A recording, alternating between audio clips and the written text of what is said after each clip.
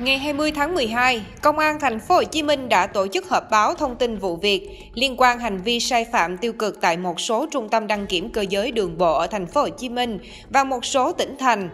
Thiếu tá Nguyễn Thành Hưng, Phó trưởng phòng Cảnh sát hình sự BC02 Công an thành phố Hồ Chí Minh cho biết, từ sự chỉ đạo của ban giám đốc Công an thành phố Hồ Chí Minh, đơn vị đã xác lập hai chuyên án để điều tra về sai phạm của hàng loạt trung tâm đăng kiểm tại thành phố Hồ Chí Minh và các tỉnh thành. Đến nay, ban chuyên án đã khởi tố bắt tạm giam 33 bị can.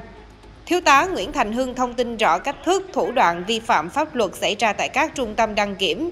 Cụ thể, tại mỗi dây chuyền của ba đăng kiểm viên, trong đó có một đăng kiểm viên xe cơ giới bậc cao. Các trung tâm đã sử dụng các nhân viên không có giấy chứng nhận đăng kiểm viên, mặc quần áo đăng kiểm để thực hiện các bước đăng kiểm xe cơ giới. Để đối phó với cơ quan chức năng, các trung tâm đăng kiểm này đã bố trí ba nhân viên mặc đồ đăng kiểm viên đi dạo quanh các camera. Do đó, hình ảnh ghi nhận được thì lúc nào cũng có ba đăng kiểm viên. Các đối tượng đã ký giả mạo chữ ký của đăng kiểm viên để cấp ra giấy chứng nhận an toàn kỹ thuật và bảo vệ môi trường xe cơ giới đường bộ. Khi xe không đủ điều kiện đăng kiểm khói, khí thải, thì các đối tượng sử dụng thủ đoạn dùng giấy trắng để che lại một mắt thiết bị để xe đó đạt tiêu chuẩn. Về kiểm định an toàn kỹ thuật phanh không đạt tiêu chuẩn, người đóng vai kiểm định viên đạp nhiều lần để hợp thức hóa là đã đạt được, in ra giấy kiểm định. Thiếu tá Nguyễn Thành Hưng khuyến cáo người dân chủ phương tiện không được sử dụng tiền để hối lộ đăng kiểm viên để sử dụng xe không đủ điều kiện.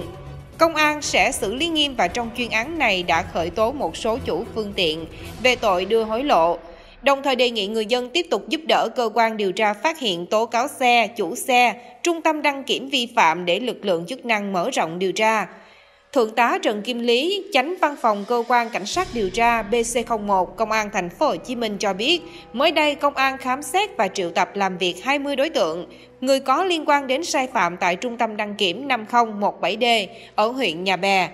Đặc biệt sai phạm ở trung tâm này có liên quan đến một trung tâm sát hạch lái xe ở huyện Nhà Bè vì đã đưa vào sử dụng 120 phương tiện giao thông, không đảm bảo tiêu chuẩn an toàn kỹ thuật vào hoạt động dạy lái xe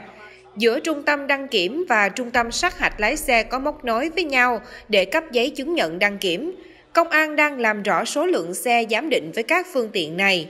Việc đưa các phương tiện không đảm bảo an toàn kỹ thuật vào hoạt động dạy lái xe sẽ gây nguy hiểm rất lớn cho hoạt động dạy học lái xe. Đây là một trong những nguyên nhân ảnh hưởng đến chất lượng học viên được cấp bằng có tính chất nguy hiểm cho xã hội. Ngoài bốn hành vi mà công an đã khởi tố là đưa hối lộ, môi giới hối lộ, hối lộ, giả mạo trong công tác, thì chúng tôi sẽ làm rõ, xử lý nghiêm về hành vi lợi dụng chức vụ quyền hạn trong khi thi hành công vụ, trách nhiệm của cơ quan quản lý nhà nước trong hoạt động thanh tra, kiểm tra. Sai đến đâu thì chúng tôi sẽ kiên quyết xử lý đến đó, Thượng tá Trần Kim Lý chia sẻ.